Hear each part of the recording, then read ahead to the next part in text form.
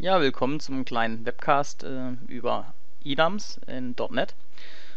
Und zwar möchte ich äh, mal zeigen, wie man es vielleicht besser machen kann. Ich höre mir da auch gern äh, dann Kommentare oder Feedback zu an.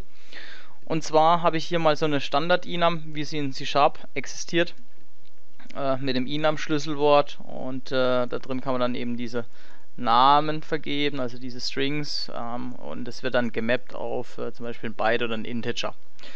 Das Problem mit der ganzen Geschichte ist, das ähm, skaliert relativ schlecht, weil man dann in seinem Code relativ viele if-Anweisungen bekommt.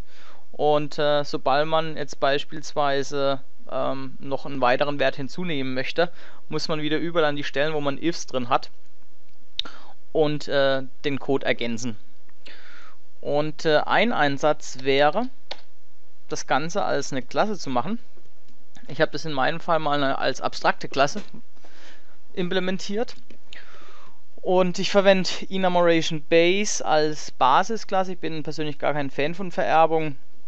Ich habe mir diese Enumeration Base ähm, von dem Jimmy Bogart entliehen. Wer sich wundert, warum hier einmal Englisch, einmal Deutsch, ähm, das Deutsche hier ist äh, ein Domainbegriff. Und Enumeration Base ist quasi Infrastrukturcode, den die Fachabteilung nicht interessiert und der ist auf Englisch. Und zwar habe ich die hier einfach kopiert, das werde ich dann in meinem Blog zur Verfügung stellen, den Code. Da möchte man jetzt gar nicht weiter reinschauen. Das ermöglicht mir einfach ähm, in den Klassen, in denen ich eben diese, diese Enums mit Behavior implementieren möchte, ein gewisses Standardverhalten, wie man hier sieht. Und im vorliegenden Fall habe ich jetzt eben eine abstrakte Klasse gemacht und habe darauf Static Read Only Properties definiert. Ganz kurz zu, der, äh, zu dem fachlichen Hintergrund, damit man auch ein bisschen sieht, wo dann die Vorteile sind. Ähm, wir reden hier über unterschiedliche Artikel. Also Artikel, die zum Beispiel von uns am Lager direkt an den Kunden verkauft werden, Artikel, die zuvor bei einem Lieferant zugekauft, an uns geschickt, bei uns umgepackt und dann äh, weiterverkauft werden oder Streckenartikel, das sind dann Artikel, die direkt vom Lieferanten unseren Kunden geschickt werden, wo dann aber auch wir als Absender draufstehen und unser Logos und so weiter. Äh, diese drei Artikeltypen unterscheiden wir aktuell. Da müssen wir noch drüber sprechen, ob es vielleicht sogar ähm, ja, Geschäft heißt, also was für eine Art von Verkaufsgeschäft es sich gehandelt hat. Ähm, das ist jetzt alles hier eh nur ein Prototyp.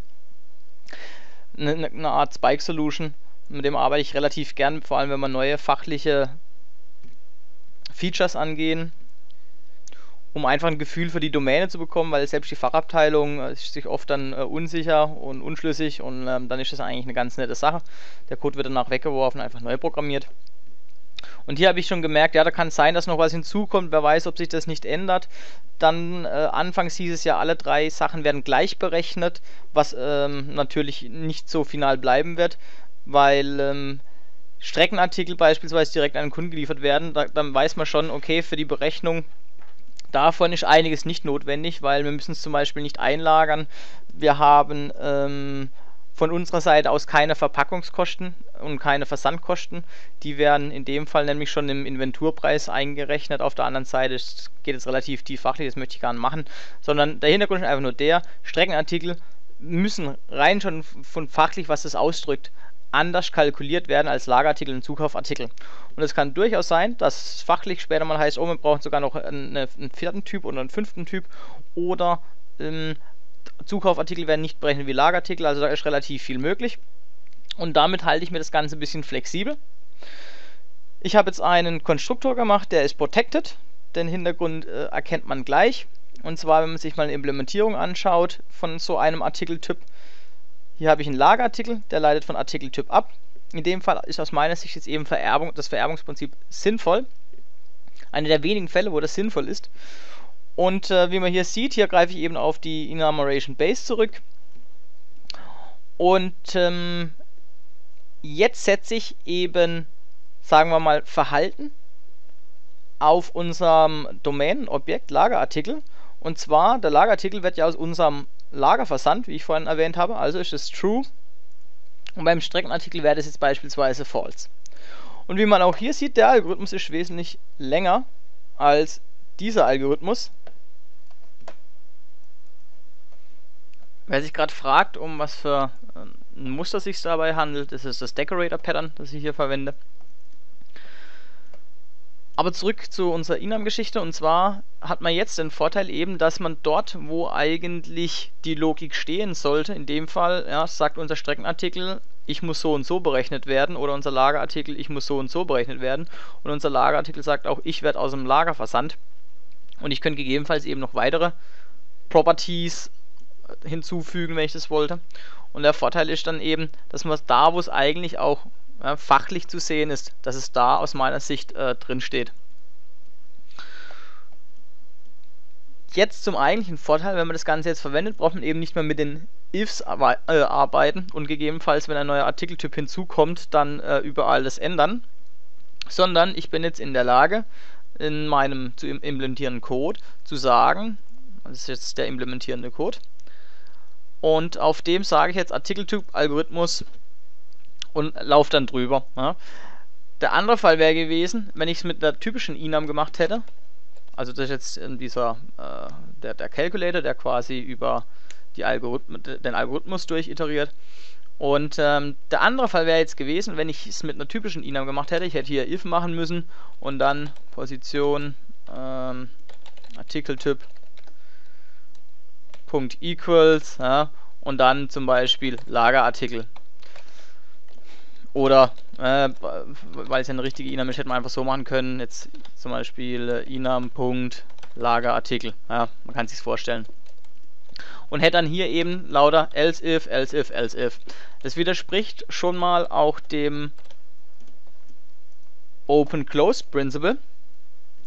Weil ich muss ja, wenn ich was hinzufüge, jetzt an alle anderen Stellen gehen und überall, also an alle Stellen gehen, wo das irgendwie drin ist und verwendet wird und da gegebenenfalls eben eine Zeile hinzufügen. In meinem Fall ist es so, ich habe natürlich immer noch ein bisschen Probleme, verstoße immer noch gegen das Open Close Principle, äh, wie man hier sieht, weil äh, ich müsste ja auch hier noch eine Zeile hinzufügen, aber aus meiner Sicht äh, ist das noch überschaubar. Es gibt noch weitere Lösungsansätze, ich möchte es aber mal bei diesem jetzt belassen in diesem Webcast. Ähm, ich muss dann hier nur eine Zeile hinzufügen und äh, dann ist gut. Wenn, jetzt noch eine kleine Einschränkung, wenn man natürlich in der Lage ist, dort wo diese Artikeltypen gesetzt werden, das entsprechend auch auf Basis von einer Konvention zu setzen. Ja, sonst müsste ich natürlich auch an, überall an die Stellen, wo die Artikeltypen gesetzt werden, die sollte eigentlich fachlich gesehen nur an einer äh, Stelle passieren. Ähm, dann müsste ich, wenn ich noch einen vierten Typ hinzunehme, auch nochmal an diese Stelle und gegebenenfalls das von Hand ändern. Äh, aber wenn es möglich wäre, das auf Basis von einer Konvention zu machen, dann wäre im Prinzip einfach nur hier eine weitere Zeile hinzuzufügen. Also machen wir es gerade mal. Streckenartikel noch unbekannter Artikel. Und dann gehe ich her. So, und ähm, mache einfach eine neue Klasse. Das heißt, ich muss jetzt nirgendwo mehr am bestehenden Code was ändern und damit wäre das Ganze implementiert.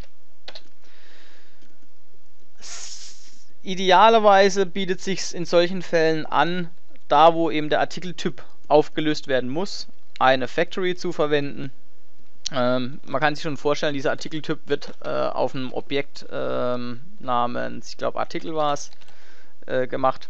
Artikel oder Position, das weiß ich jetzt nicht mehr. Position müsste gewesen sein. Und wenn man da äh, jetzt den Artikeltyp rausfinden will, dann könnte man in, in der Methode äh, oder beispielsweise im Konstruktor von der Position, könnte man dann aufrufen Factory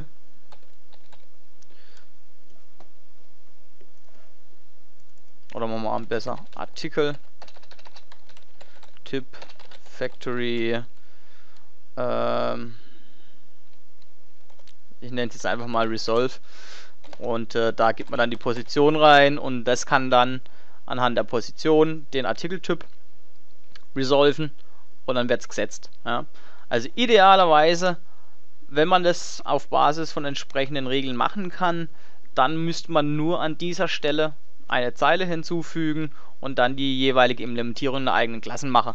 Das ist sehr überschaubar und aus meiner Sicht ähm, hat man dann auch fachlich die Implementierung da, wo man wenn man mit der Fachabteilung auch drüber spricht, ja, stehen hätte. Ja, also wenn ich mit der Fachabteilung zusammensitze, ich habe jetzt leider gerade nicht unseren, unser Board da, wo wir das aufgezeichnet hatten, da war klar, wir haben über Artikeltypen gesprochen und äh, für einen Artikeltyp Lager ist, also ist eine Ausprägung, zweite Ausprägung, dritte Ausprägung. Und dann haben wir über jeden einzelnen Ausprägung gesprochen, wie wird sie berechnet, ähm, welche Merkmale hat sie.